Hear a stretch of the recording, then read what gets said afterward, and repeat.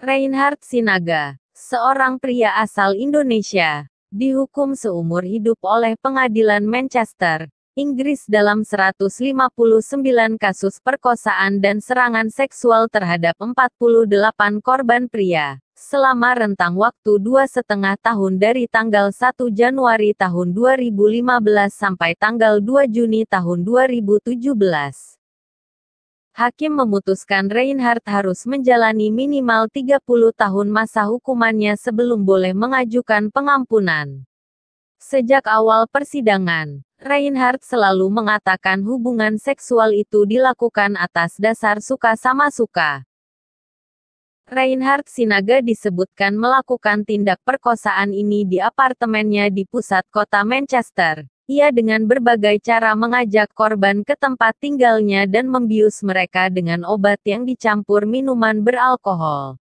Sejumlah korban diperkosa berkali-kali oleh Reinhardt dan difilmkan dengan menggunakan dua telepon selulernya, satu untuk jarak dekat dan satu dari jarak jauh. Pejabat dari Unit Kejahatan Khusus Kepolisian Manchester Raya, Maps Hussein, menyebutkan perkosaan berantai ini adalah kasus perkosaan terbesar dalam sejarah hukum Inggris. Ia menambahkan tindak perkosaan yang dilakukan Reinhardt bahkan kemungkinan dilakukannya dalam rentang waktu sekitar 10 tahun. Modus operandi yang dilakukan Reinhardt, menurut kepolisian Manchester Raya, adalah mengajak korban yang tampak rentan setelah mabuk atau tersesat di seputar tempat tinggalnya, di kawasan ramai di Manchester, Inggris.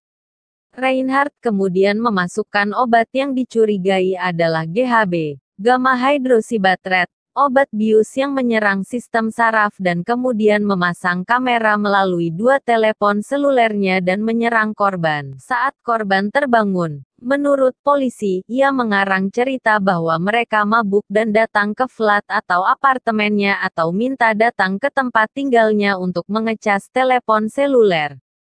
Kepolisian Manchester Raya menyatakan 48 korban dari empat persidangan terpisah berumur antara 17 tahun sampai 36 tahun. Semua korban adalah pria Inggris kulit putih dan sebagian besar adalah heteroseksual dan tiga homoseksual. Reinhardt yang menyatakan pembelaan dalam sidang pertama dan keempat menyatakan tidak bersalah dan menyebutkan bahwa hubungan seksual dengan para pria itu atas dasar suka sama suka.